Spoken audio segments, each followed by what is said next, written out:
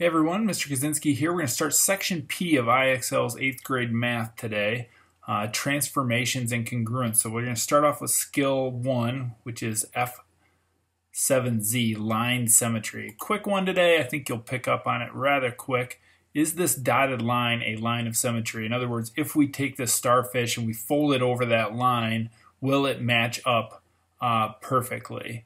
And in this particular one, that's a big yes. Um, it is the exact same on both sides.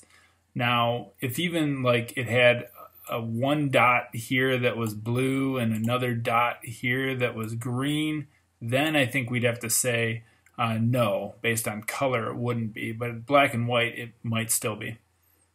But in this case, yes.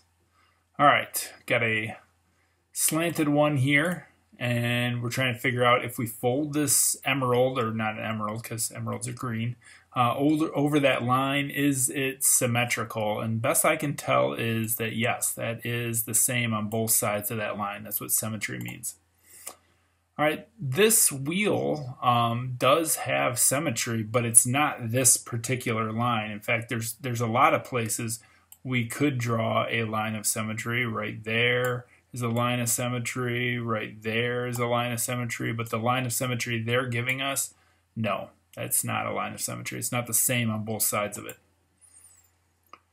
Uh, this one's interesting because the easel that this artwork is sitting on is probably symmetric across that dotted line, but the actual artwork sitting on it is not. If we fold this over, it's not going to match. So that one's no.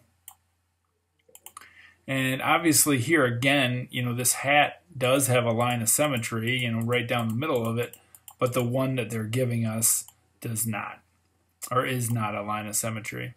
So I think you'll kind of breeze through this. There might be some mistakes you might make, um, but you'll learn from them quick.